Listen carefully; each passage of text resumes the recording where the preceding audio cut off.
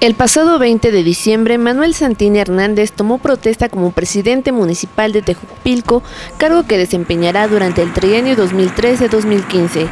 Santini Hernández aseguró que la creciente demanda de servicios públicos derivado del aumento poblacional y la insuficiencia de estos son las causales de los problemas que existen en el municipio. Por ello, ya se trabaja en un plan de gobierno austero y viable. Cuatro son los retos que engloban las acciones de este gobierno municipal. El reto político, el reto social, el reto económico y el reto administrativo. Se inclinó por una política basada en el respeto, el diálogo y los acuerdos, por lo que invitó a su cabildo a hacer un frente común en beneficio de los ciudadanos. Este municipio está dispuesto a sumar esfuerzos ante los gobiernos estatal y federal. Refirió que el reto social es brindar servicios públicos de calidad y con calidez, y será la prioridad de su administración.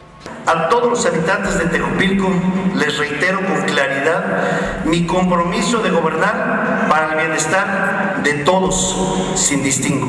Ante un auditorio lleno, Manuel Santín expresó su deseo y compromiso para trabajar arduamente a partir del primero de enero en favor del desarrollo de Tejupilco. Infinitas muestras de apoyo y de cariño por parte de sus paisanos cerraron con broche de oro este evento tan importante para el municipio. Para Te Urbana Noticias, Tatiana Flores.